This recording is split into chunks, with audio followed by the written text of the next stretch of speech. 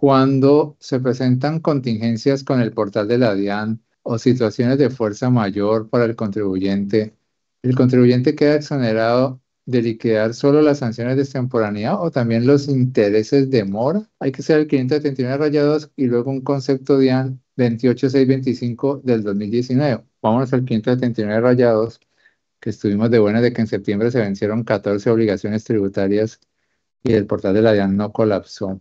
Entonces, eh, 539 rayados. Y presentación electrónica de las declaraciones. Y ese inciso dice, cuando por inconvenientes técnicos no haya disponibilidad de los servicios informáticos electrónicos o se presenten situaciones de fuerza mayor que le impidan al contribuyente cumplir dentro del vencimiento del plazo fijado para declarar con la presentación de la declaración en forma virtual, no se aplicará, miren, la sanción de extemporaneidad del 641 de este estatuto, siempre y cuando la declaración virtual se presente a más tardar al día siguiente aquel en que los servicios informáticos de la DIAN se hayan restablecido o la situación de fuerza mayor se haya superado, en ese último evento el declarante deberá remitir a la DIAN prueba de los hechos constitutivos de fuerza mayor. Cuando se adopten dichos medios, el cumplimiento de la obligación de declarar no requerirá su, para su validez de la firma autógrafa del documento. Listo, esto ya es otro parágrafo. Ok, que tiene que ver con universidades públicas. Y entonces lo que nos importa es que este inciso nos dice que si se llegan a dar contingencias con el portal de la DIAN o, al contribuyente mismo se le presentan situaciones de fuerza mayor y las declaraciones no se pueden presentar virtualmente a tiempo, aquí dice que va a quedar exonerado de la sanción de extemporaneidad cuando ya la puedan presentar, pero no dice para nada que también queden exonerados de los intereses de mora, que los intereses de mora se liquidan es con lo que dice el 634 y 635 del estatuto tributario. Entonces uno, uno diría, listo, la, esta norma me da permiso de que cuando se, el portal de la DEN se restablezca, yo podría presentar la declaración sin sanción de extemporaneidad. Ah, pero el pago, yo sí puedo hacer el pago en un formulario 490 sin importar que el portal esté caído.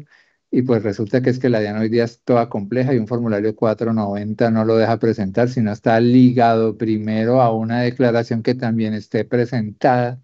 Entonces, ¿qué pasó? Aunque aquí se diga que, la, que lo exoneran es de la sanción de extemporaneidad, la DIAN tiene esta otra doctrina, el, 28, el concepto de DIAN 28625 de noviembre de 2019, donde también dice que lo va a exonerar de los intereses de mora. Creo que es este el concepto, sí.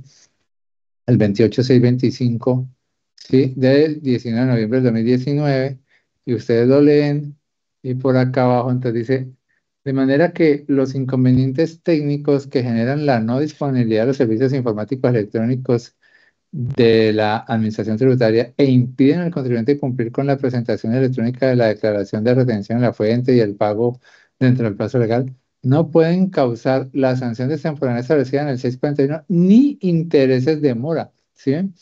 Ya es vía doctrina que nos están diciendo que las contingencias del portal ADEAN te exoneran de la sanción de temporanea y de los intereses de mora, siempre que la declaración se presente y pague a más tarde el día siguiente aquel en que los solicitados servicios se hayan restablecido. Entonces, todo eso es porque el formulario 490, si uno lo quisiera ir y presentar oportunamente, a pesar de que no se haya podido presentar la declaración, ese 490 no se deja llenar si no tiene un número de declaración al cual esté ligado. Es por eso que entonces también les dan el permiso por acá de ganarse la exoneración hasta los intereses de mora.